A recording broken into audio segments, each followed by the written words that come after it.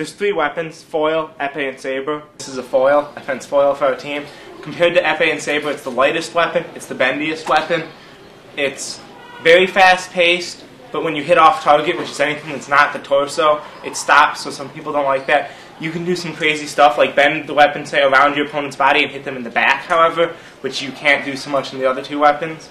Uh, there's a lot of pistol grip users, however, there are still some people that use French grip. This is an epee. It's a poking weapon, so it's different than saber in that you use the point to get touches. Um, it has a big bell guard so it can protect your whole arm because your full body's target area, and the closest thing to hit on your opponent is their arm. So you're trying to protect your arm. It's the first thing. Hmm, very nice. Now, why do you think that this weapon is better than the other two, specifically? I like that it's full body target area. There's none of this off target business where you have Okay. to stop and reset because that really annoys And me. so, specifically with this kind of weapon, you want to jab at them, right? Yep. Okay. Yep, and you have to. It does move slower than saber, but it takes more strategy, I think, to figure it out. It's not as quick. You have to have a plan. If your attack doesn't work, you have to have a backup and a backup to that and a backup to that if you want to be successful. Contact. I'm a senior here. I've been with the club for four years, and this is my weapon. It's a saber.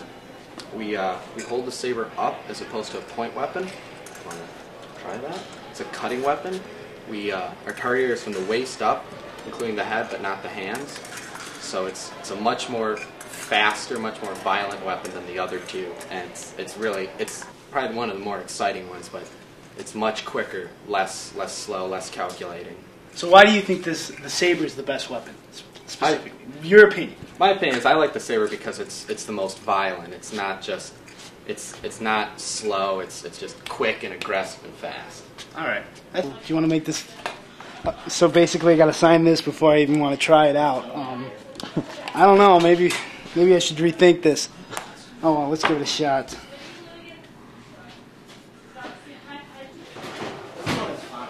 All right. Um, Let's find a mask. Get the mask going.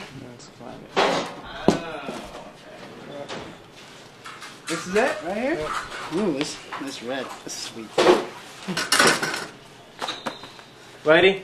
So, the proper way to hold a foil is so it rests in the groove of your hand. The actual expression in the groove came from fencing, where you had to hold the weapon like that. So it just lies down and just stays snapped to your wrist the whole time. The whole time. You gotta The stay time. like that.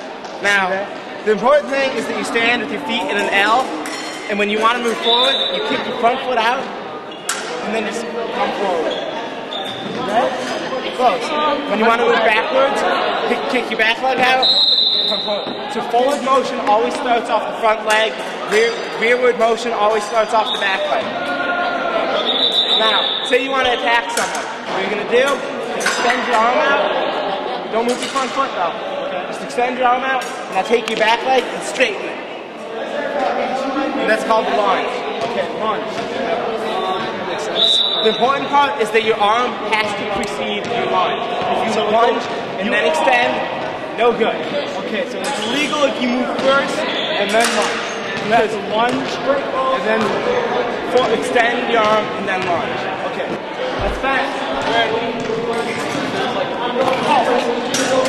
Okay, so that was my attack, and I can completed on his back shoulder. Yeah, let's talk in more fast. Let's do this.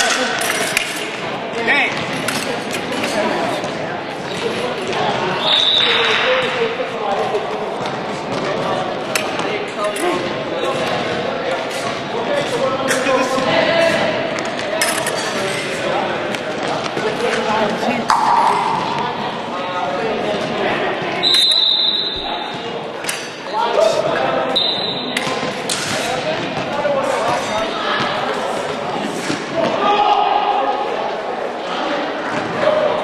Oh man.